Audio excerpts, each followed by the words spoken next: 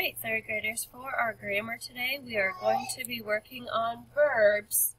Okay, we are not going to be doing action verbs though. Now we're switching to be, do, and have.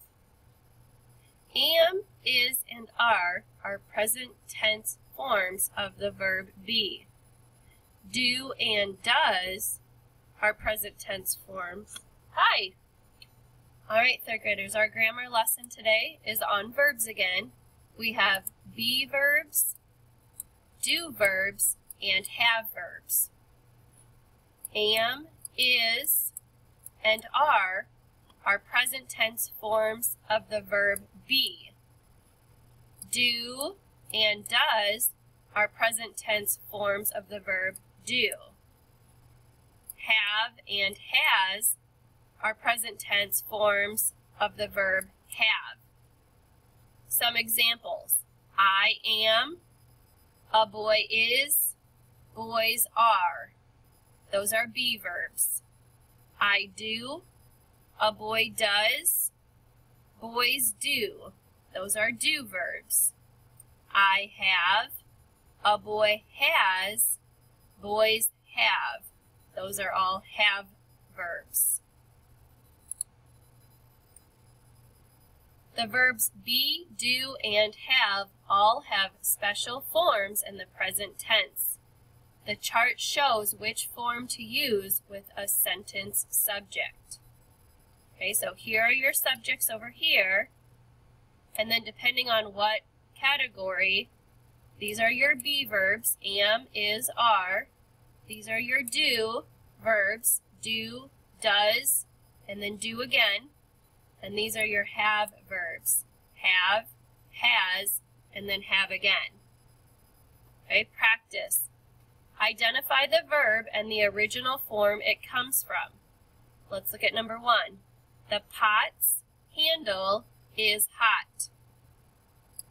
Is is my verb. Here's is, so it is a be verb. Number two, I am a good cook. My verb is am. The reason they use am is because I am, and it's a be verb. Number three, the boys have a salad with dinner. Okay, here's my verb, have. If I go up here, here's have. Okay, my subject is the boys. So that would be they. They have. So it's a have verb. Mike does a great job in the kitchen. My verb is does. Okay, Mike is a he, so that's my subject. He does. And then that would be a do verb. The last one, number five. The chef has all of the pots on a rack. So my verb is has. If I go up to my chart, here's has. The chef, that would be it. It has, and it's a have verb. Okay, your job, okay, here's the same chart that was just on the previous um, flip chart. So your direction here, write the correct present tense form of be. So numbers 1 through 5, you're only going to use the be verbs. Okay, number 6 through 10, it says write the correct present tense form of do. So 6 through 10, I'm only going to use the do verbs. And then 11 through 15, I'm going to use the have verbs. Okay, so let's do one for each of them. Okay, number one, now I'm using the be, so I'm just using these three words. And my subject is she. She blank, our favorite baker. Okay, here's she.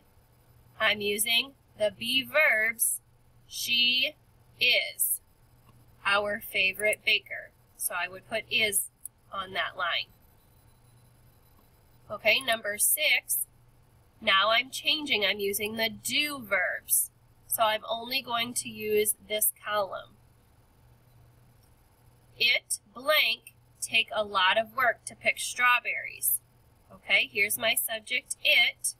I have to use the do column, so it does take a lot of work to pick strawberries. Okay, number 11, now I'm going to use the have column. So I'm only going to use this column over here. My subject, we. We blank many strawberry plants in our garden. Okay, so I'm going to go up. Here's we. I'm going to slide across to my have column, and I'm going to use the word have. We have many strawberry plants in our garden. Okay, so we just did number 1, number 6, and number 11 together. Okay, your job is to finish the rest of the sheet. Remember, numbers 1 through 5 are be verbs, so you are only using these. Look at each of your subjects, match it up with one of the, v, the be verbs. Number 6 through 10, you are using the do verbs. Okay, 1 through 5 is be, 6 through 10 do. So you're only going to use these. Again, look at your subjects, match them up with just the do column. Number 11 through 15, you are using the have column. Okay, so again, look at each of your subjects, match it up with one of these words. Okay, once you are finished, then you go ahead and check it.